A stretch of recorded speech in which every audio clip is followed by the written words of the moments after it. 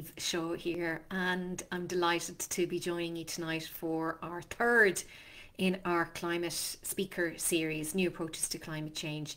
Um, this is um, this is a talk that I'm particularly interested in because it's about using space for us to better understand uh, climate change and Earth observation more specifically. Now, um, tonight we're going to be hearing from Dr. Anna Maria Trofaier, and she works at the European Space Agency's Climate Office. And she is what's known as a cryosphere scientist. And she looks particularly at the Arctic region, so that's in the in the North Pole regions, to see how much sea ice and glaciers and um, and snow have retreated over the years. And by looking at data for long periods of time, we are able to predict um, just how much climate change is impacting us on the ground. It's got a really great visual talk to give, so I'm, I'm very excited for her to um, share her talk shortly, which will premiere at uh, five past seven. Um, we tried a, a number of things for her to join us live tonight, but look at this is the world we live in with the Wi-Fi and the broadband, and uh, where she is at the moment in the UK, just the Wi-Fi just isn't strong enough. And when you see her visual her presentation is, you'll understand why she used lots of great slides and animations and everything. So I hope that that um, will make the difference. But what, what I'm going to do is, um, so her talk is just under 20 minutes long. So around about 25 past seven, I'll come back live and um, I'll take, while you're watching the talk, I'll keep an eye on the comments that are coming in and um, I'll do a little roundup on that. And as I say, this is a series of talks um, as part of the Abbeyleix Climate Action Project. I'm the science communicator in residence. And the idea of these talks is for us to kind of um, find extra information that we aren't already familiar with within the community. And certainly, um, I don't believe that um, the Abbeyleix uh, community have been uh, that up to speed on what's happening in the space sector. So Earth observation is a term used to describe um, satellites that orbit Earth to look down on Earth and there are special sensors on board that detect, um, they can detect different gas levels or water levels or they have all different, um, they have all different objectives. And so by looking down on Earth, we can use that data to monitor how our climate's faring and how we can predict going forward. So that's the sector that Anna Maria is involved in, uh, manipulating and um, monitoring data that comes, that is all available for all of us actually um, on the, um, the European-wide group of satellites that are observing our planet.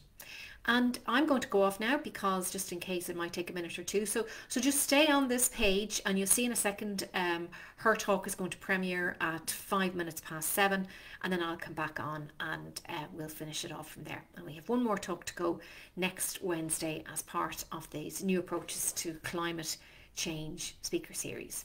Okay, I'm off. Hope you enjoy the talk. Hello, my name is Anne-Marie Trofaier, and I'm a cryosphere scientist with the European Space Agency's Climate Office. My background is in satellite remote sensing of the polar landscape, in particular of snow and ice. Today, I would like to talk to you about monitoring our planet, its climate, and the cryosphere from space, with a particular focus on the high Arctic. So this talk really stems from some of the work we're doing within the Climate Office, but also within the European Space Agency's Directorate of Earth Observation, of which the Climate Office is only a small element. So let's talk about observing climate change from space, Arctic research in the age of satellites.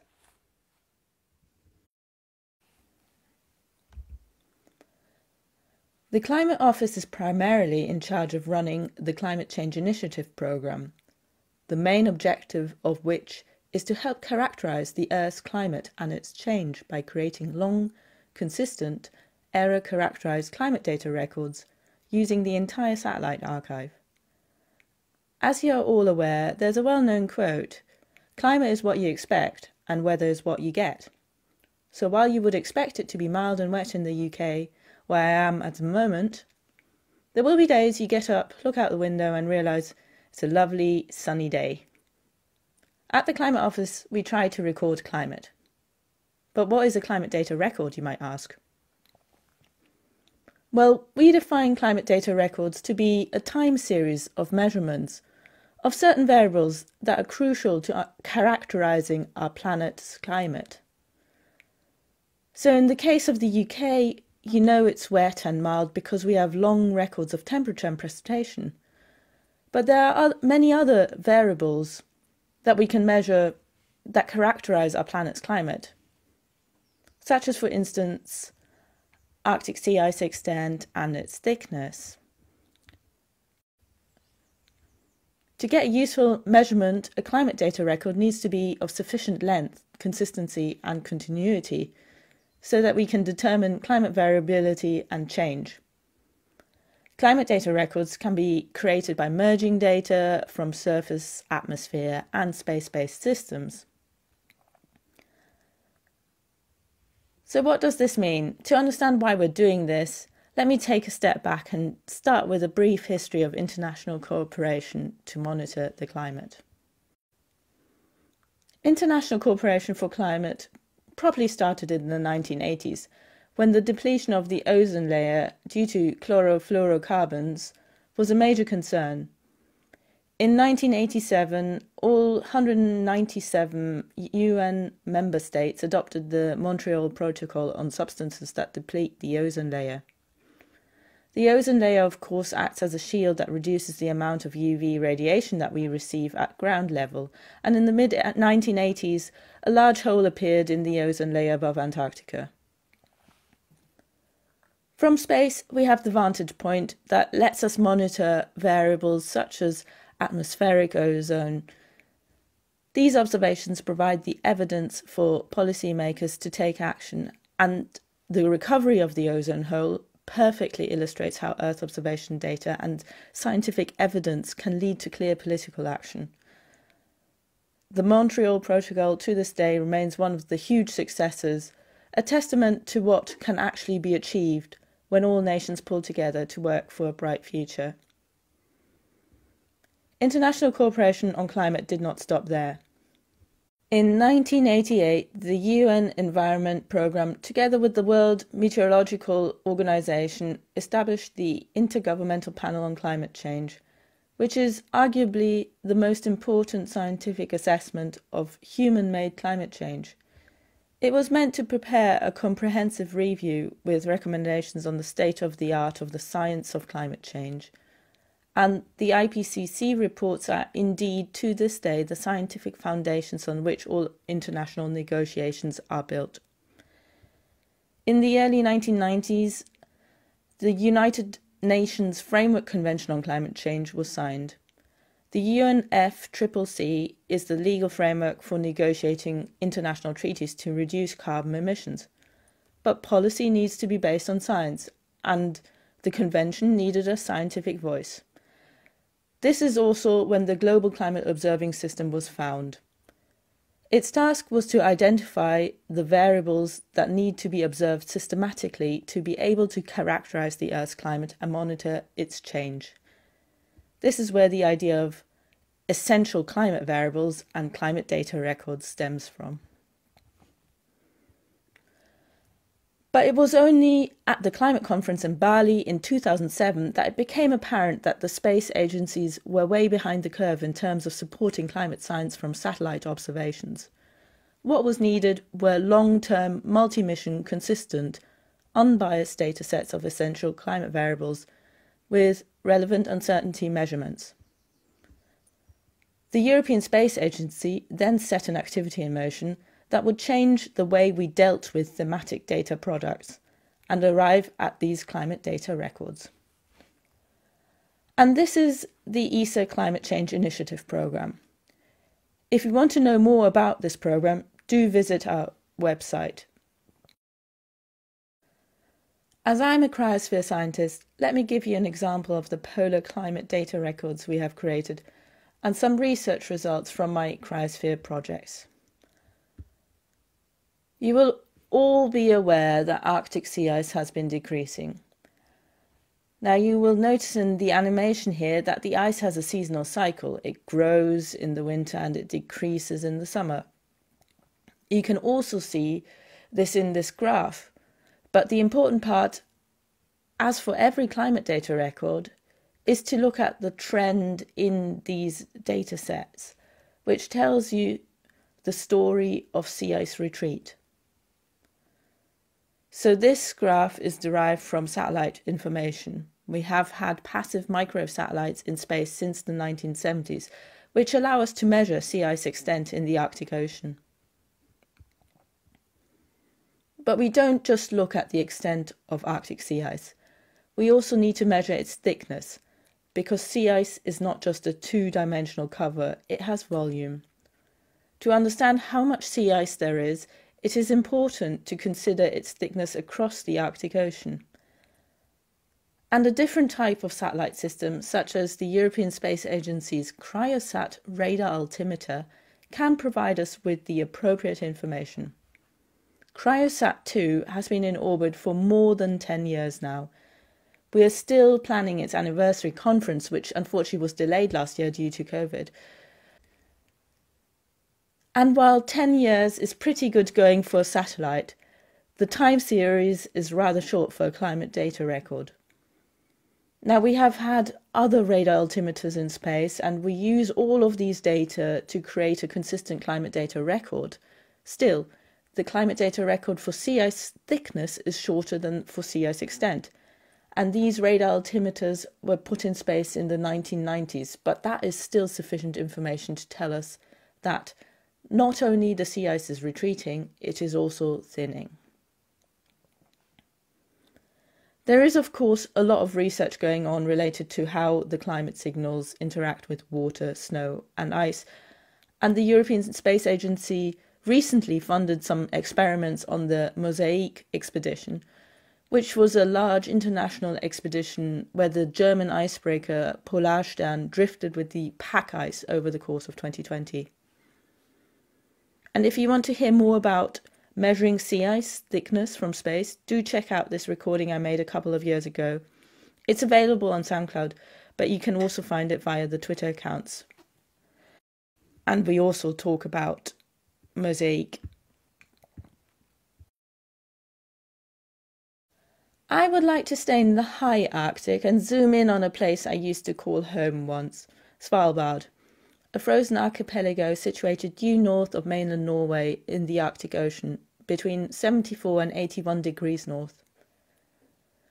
The main island is called Spitsbergen, which is also where I was based, in the town of Longyearbyen and indeed it is where my heart remains, up north in the ice.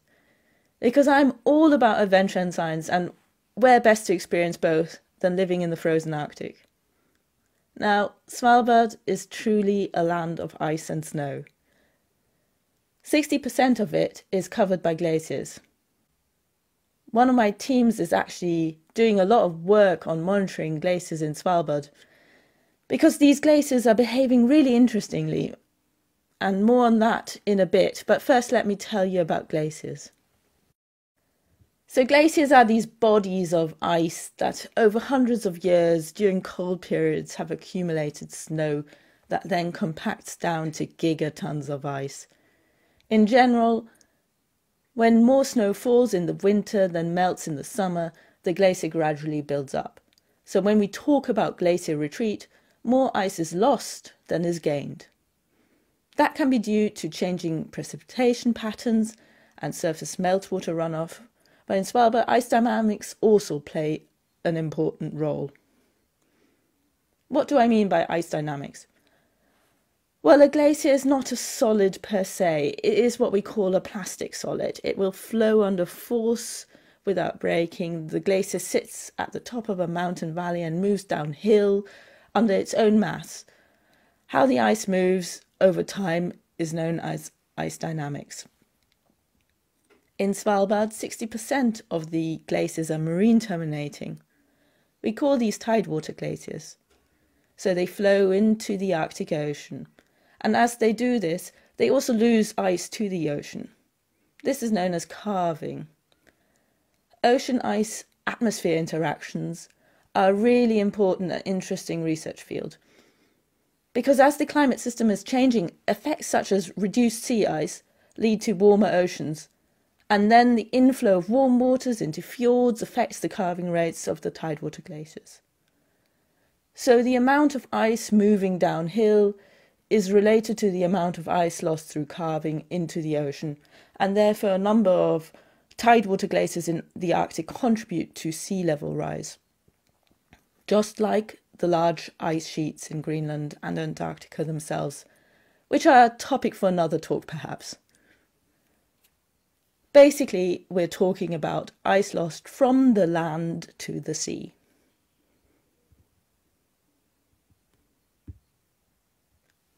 Now we can monitor glaciers by using optical or multispectral as we call it, images from the Copernicus Sentinel-2 satellite, from which we can derive the glacier outlines.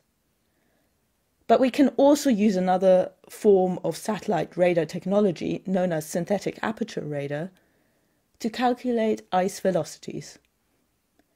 And this is what we have done up in Svalbard using the Copernicus Sentinel-1 satellite which is a synthetic aperture radar satellite.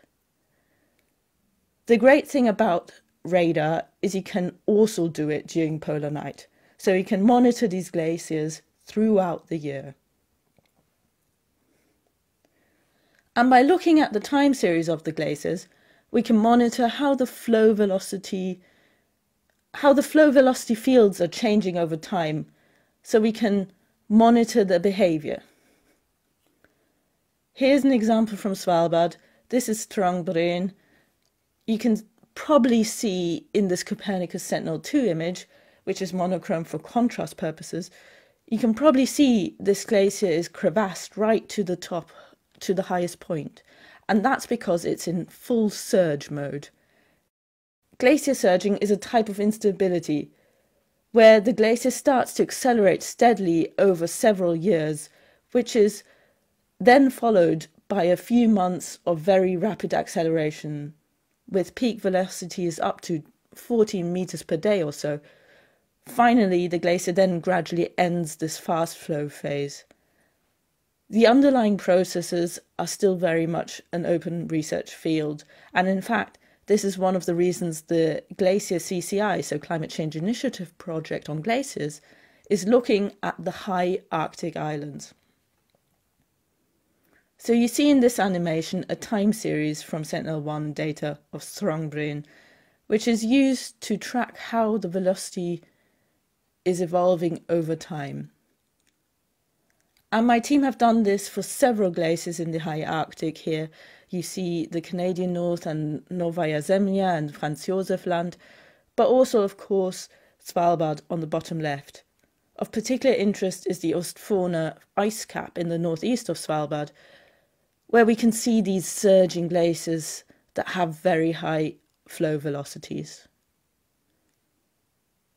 If you're keen on learning more about how we use satellites to monitor the Earth's cryosphere, the European Space Agency is actually currently developing a massive open online course, which will hopefully become available soon in the spring. So watch this space. As for my team and I, we will continue to work on monitoring glacier behaviour because we really want to get to the bottom of what exactly is going on up there in the high Arctic. We don't yet understand the mechanisms and feedbacks, and it isn't easy to link this to any climate forcing. But one thing is for certain we're seeing a lot of glacier instabilities, which may be dominating the calving flux from Arctic ice caps and glaciers. And this calving flux is then linked to the sea level impact from this region. If we can better understand glacier behavior and the underlying controls of glacier calving, we also better understand the contribution of the Arctic glaciers and ice caps to global sea level rise. And this is where reliable observations, in particular those from satellites, make the difference for improving our understanding of our planet and enabling us to assess the impacts of climate change and how climate change is reshaping our planet. The truth is that around 680 million people live in low lying coastal zones across the globe, and every centimetre of sea level rise puts 3 million of these people at risk of annual coastal flooding. And we already know that for some island nations in the Pacific Ocean, it has gone past the point of no return. They will become inhabitable no matter what happens with greenhouse gas emissions. And it's not just far flung countries that are affected. The intensity and frequency of storm surges will become a serious problem across the globe. In the UK, there have already been reports that a small town in North Wales will have to be abandoned and the infrastructure decommissioned in the next 26 years, as it will no longer be viable to defend the town from rising sea levels. That is coastal towns and livelihoods disappearing right here in the UK. Now, bringing it back to Earth observation. To support climate change adaptation, we need good observations. We need good observations of our climate system. For instance, we need to be able to say something about the rate of sea level rise and we can only do this comprehensively by using satellite technologies.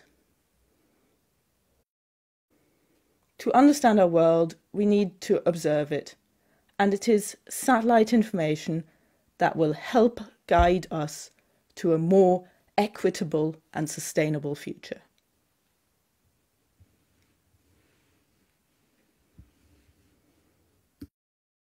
So that's it from me today. I hope you enjoyed this talk. Follow me on Twitter or do follow the Climate Office on Twitter for interesting updates on how we monitor our planet and its climate from space. Thank you all and good night.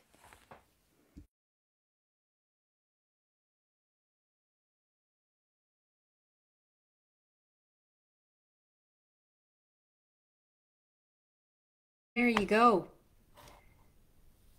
I Am I live? Yeah, I think I'm live. I never know. I never know. So there you go. Um, very interesting. Very, very interesting. Um, you know, I think that um, something that Anna Maria was saying is something that we we are experiencing on the ground. So she's involved in using data from satellites that orbit Earth that are provided by the European Space Agency, and she's specifically looking at glaciers and she's looking at those polar regions.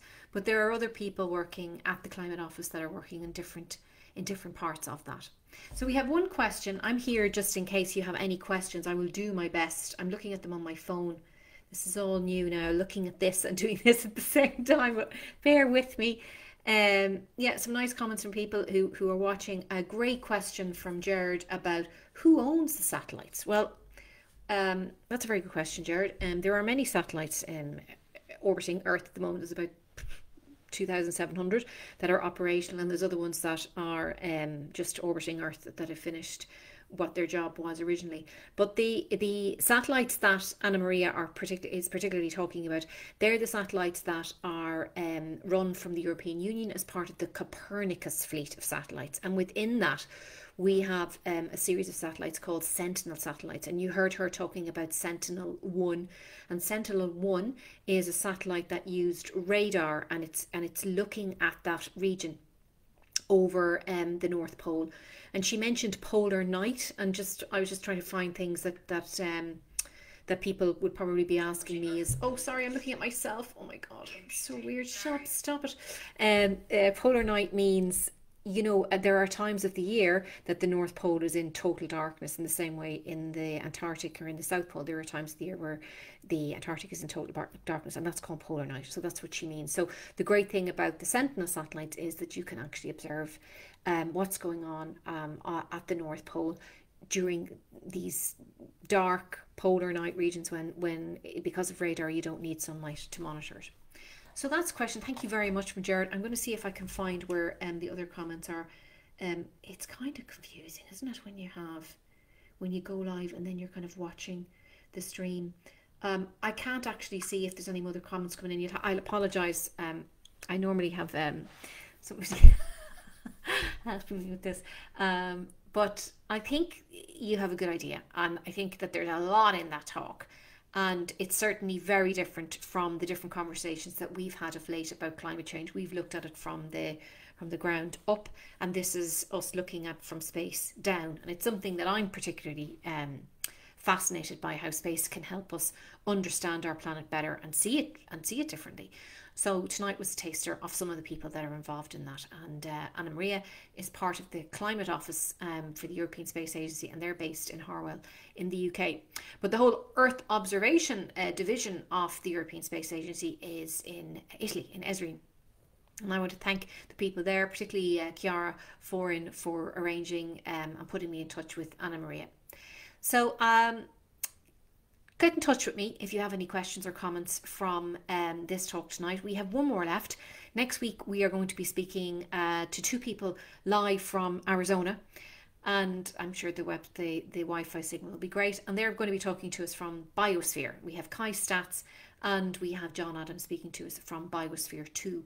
Biosphere 2 was an experiment conducted in the Arizona desert where um, an attempt was made to recreate an ecosystem under a glass dome and where people actually went in and conducted an experiment for a number of years. And on site, Kai Staats, who's somebody that I know from the space sector, is now designing and building a Mars habitat on site to um, see what lessons can be learned um, in creating another sort of ecosystem as if we are on Mars. So we'll be hearing from the two of them next week at seven o'clock. And um, thank you very much for tuning in and watching us tonight. If you have any comments, please leave them. And if you have any questions for me, uh, please get back to me and I will uh, send them on to Anna Maria or I'll attempt to answer them myself.